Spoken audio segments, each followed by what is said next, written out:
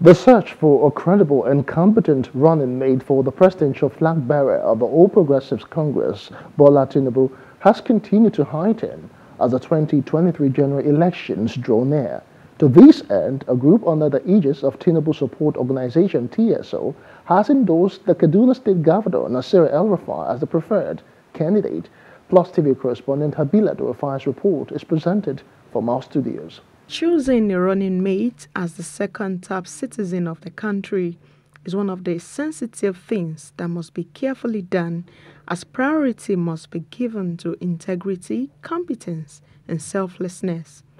The group met in Kaduna and after much deliberations endorsed Malam Nasir El-Rufai. Addressing a press conference in Kaduna, the Director General of TSO, Aminu Suleiman, said that a decision was made after a wide consultation among interest groups from the Northwest Zone and beyond. He stated that choosing a running mate from the Northwest is critical for the success of the APC at the elections. Tinubu Support Organization TSO believes that choosing running mate is a critical success factor for the victory for Asiwaju Bola Tinubu.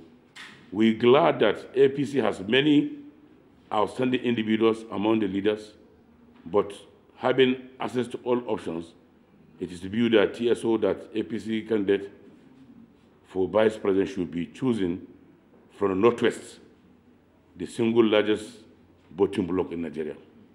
It is our view that a person that can be best complement Asiwaju as a vice president is Mala Nasir El-Rufai.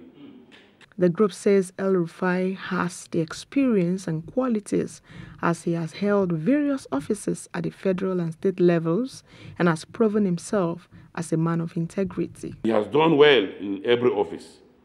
He has always stood for progress policies. He is not afraid for a difficult decisions.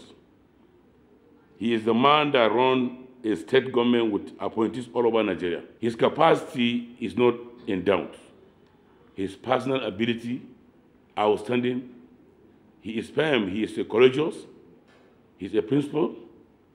We know that he resisted every pressure to be dragged into the presidential race. The APC's presidential candidate Bola Tinubu had never shied away from saying that he is still in search of a running mate, even though sources within the party say that the Borno State Governor Babagana Zulum or his predecessor Senator Kashim Shettima are the party's preferred candidates.